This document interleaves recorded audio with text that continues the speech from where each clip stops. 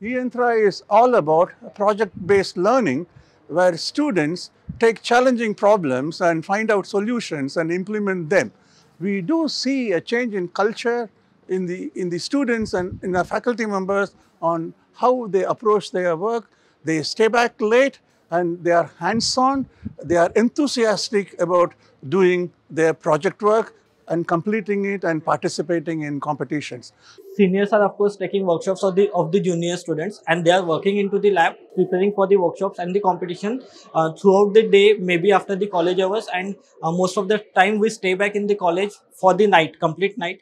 And uh, even if faculties are not available in the college students are getting the keys of the lab and they are opening the lab by themselves. All the equipments are uh, available to the students into the lab plus the ethical values which they are getting out of the lab is great because they are taking the components they are working on it and keeping back to the lab. We are keeping the lab open for uh, complete 24 hours and management also seeing this thing and they are also helping the same. Because of just eYantra lab uh, we have developed a 24 by 7 working environment a culture in our institutions. Students who are in BE they are guiding their juniors for uh, active participation in this uh, lab students who participate in the eYantra competition, they prepare the project for last five to six months. College provides them with the basic funding and the lab uh, and the work environment. Uh, the students have the lab facility available for them from morning 8.30 to evening 8.30.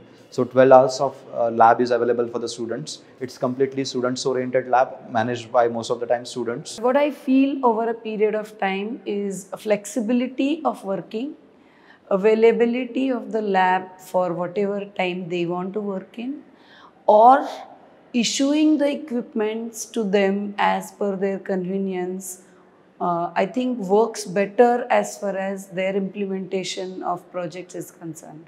So for the lab utilization, I feel we should remove the barriers of timing and you know usage of equipment usually what students do is they come to college attend the lectures and laboratories and perform the experiments which are in the curriculum. But culture of the research and doing working for long hours on a particular problem that culture that is developing that is being developed in the student due to this laboratory